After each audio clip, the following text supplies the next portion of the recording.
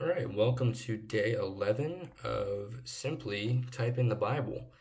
And uh, we're on Matthew 12 today. Uh, here is the stats so far. We have uh, 7,000 words typed, 323 verses, and 11 total chapters. Here is the graph that we're looking like right here. We had a little peak in the accuracy at 96% at the start of the last chapter, which was pretty cool to see. But uh, yeah, I'm excited to continue this journey and let's go ahead and get started. So yeah, we got Matthew 12 today. How many verses we got? Wow, that's a lot of verses. All right, we got some work to do. Let's go ahead and get started. At that time, Jesus went through the grain fields on the Sabbath. His disciples were hungry, and they began to pluck the heads of grain and to eat. But when the Pharisees saw it,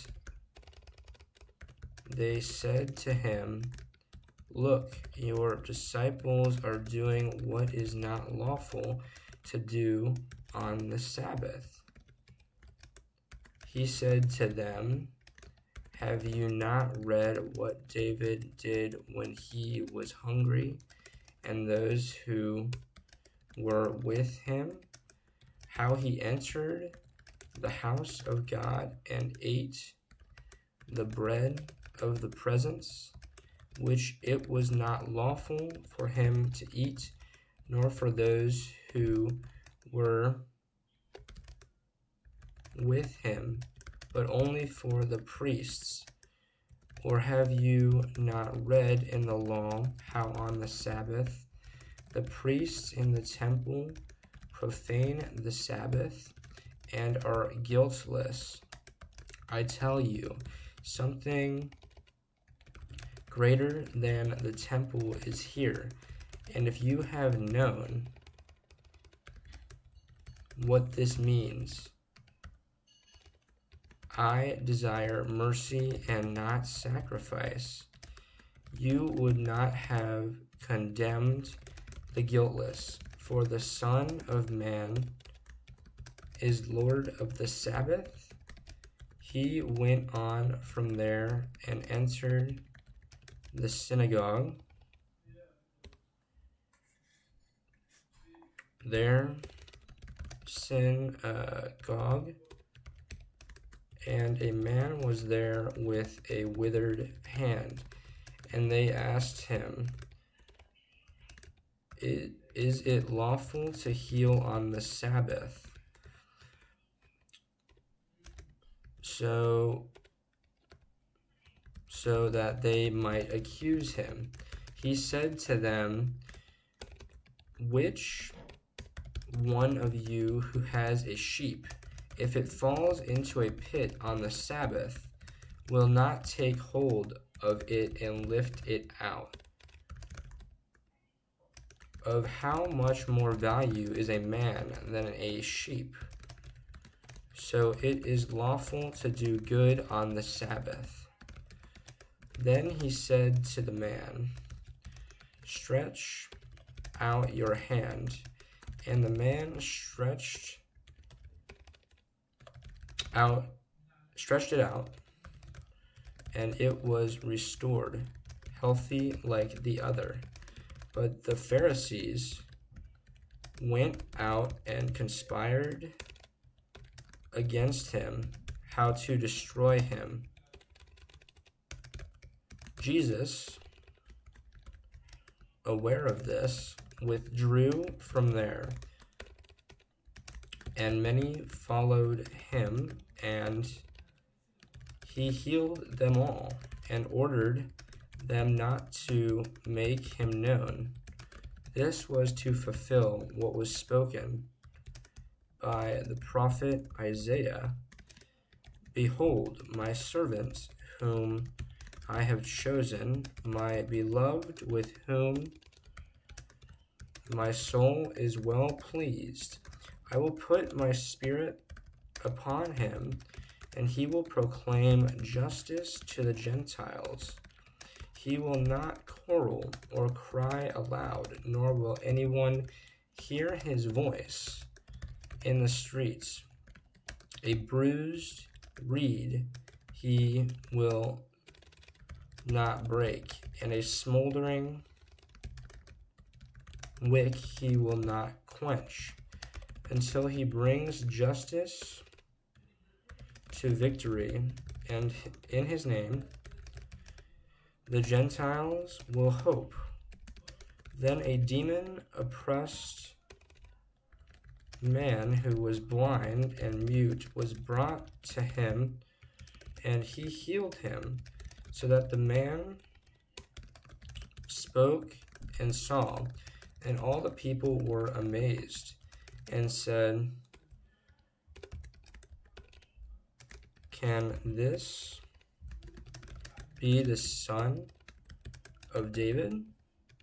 But when the Pharisees heard it, they said, It is only by Beelzebul, the prince of demons, that this man casts out demons. Knowing their thoughts, he said to them, Every kingdom divided against itself is laid waste, and no city or house divided against itself will stand. and if Satan casts out Satan, he is divided against himself. How then will this kingdom, will his kingdom, stand? And if I cast out demons by Beelzebul, by whom do your sons cast them out? Therefore they will be your judges. But if it is by the Spirit of God that I cast out demons, then the kingdom of God has come upon you. Or how can someone enter a strong man's house and plunder his goods unless he first binds the strong man? Then indeed he may plunder his house. Whoever is not with me is against me, and whoever does not gather with me scatters. Therefore I tell you, every sin and blasphemy will be forgiven people, but the blasphemy against the Spirit will not be forgiven. And whoever speaks a word against the Son of Man will be forgiven, but whoever speaks against the Holy Spirit will not be forgiven, either in this age or in the age to come. Either make the tree good and its fruit good, or make the tree bad and its fruit bad. For the tree is known by its fruits. You brood of vipers, how can you speak good when you are evil? For out of the abundance of the heart the mouth speaks. The good person out of his good treasure brings forth good, and